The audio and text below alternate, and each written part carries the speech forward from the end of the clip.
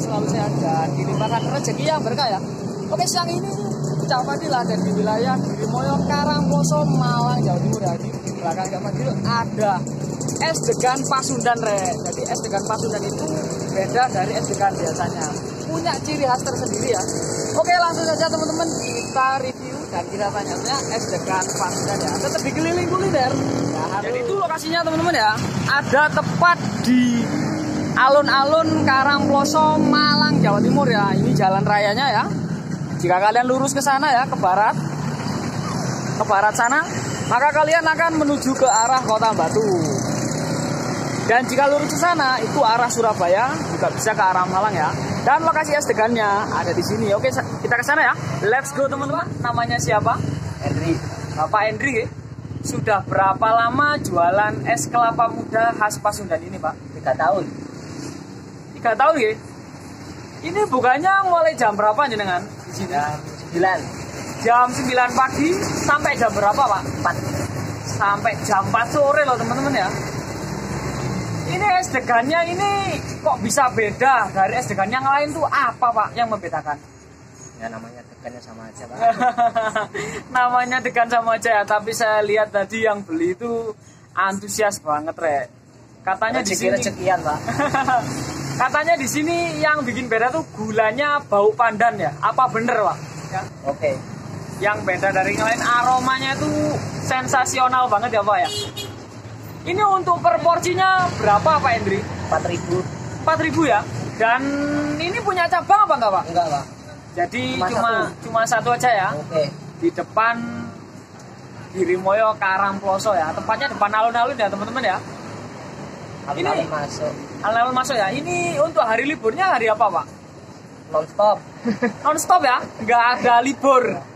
Untuk pelanggannya ini biasanya mulai anak kecil sampai dewasa pak ya? Berapa pak. Jadi semuanya suka es dengan sampean ya? Alhamdulillah. alhamdulillah ya. Ini sehari sampai berapa biji pak? Es degan apa? Degan degannya ini biasanya. Sampean Nggak- nggak pasti pak. Paling banyak mungkin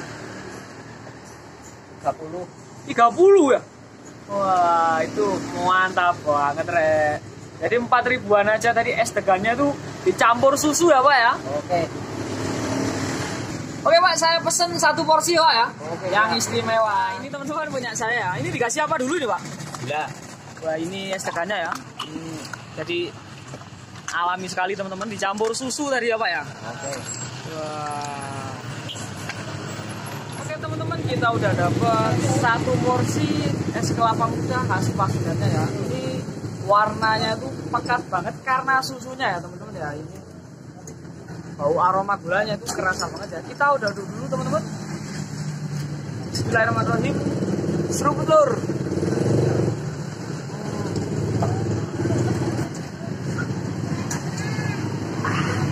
rasanya sewager pore jadi ini ini tuh tegannya ya tegannya itu kelihatannya lembut banget hmm. cuacanya tuh panas banget ya hari ini ya kita minum es ini tuh cocok banget ya Hmm.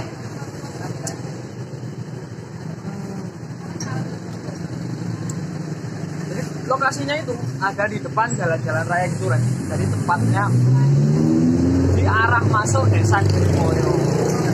Ini saya tadi antri banget dapat urutan yang terakhir tapi alhamdulillah lah masih kebagian. Ini kita seruput lagi ya. Bismillahirrahmanirrahim. Seruput lur. Luar biasa banget ya. Jadi itu rasanya memang bener-bener sauwager ya. Harganya cuma 4 ribuan. Ini ya. Harganya Lahar lur.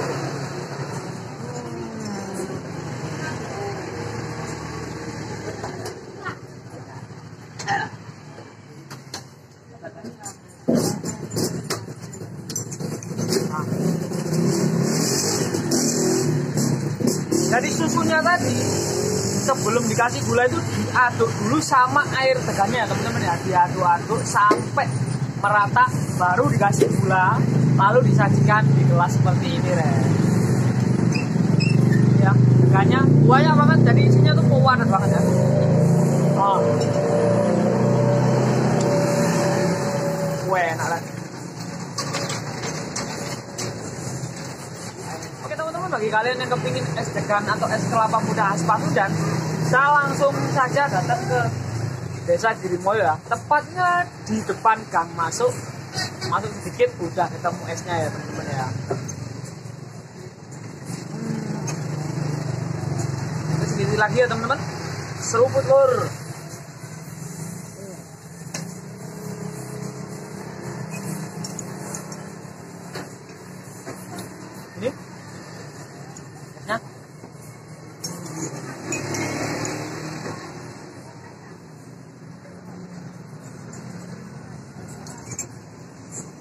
sampai habis ya. Oke teman-teman kesimpulannya es kelapa muda khas Pasundan ini rasanya enak ya. Dengan harga 4000 kita udah dapat satu porsi ya. Dan rasanya pastinya enak boleh bagi kalian yang ingin langsung saja datang ke desa Girimoyo Karangploso Malang Jawa Timur ya. Oke jangan sampai kehabisan mulai jam 9 pagi sampai jam 4 sore ya. Oke teman-teman semoga yang sedikit ini selalu bermanfaat dan memberikan dampak baik bagi kita semua ya tentunya tetap di keliling kuliner dan lur assalamualaikum warahmatullahi wabarakatuh. Dadah. Dadah sih bang bro. Woi. Dadah. Dadah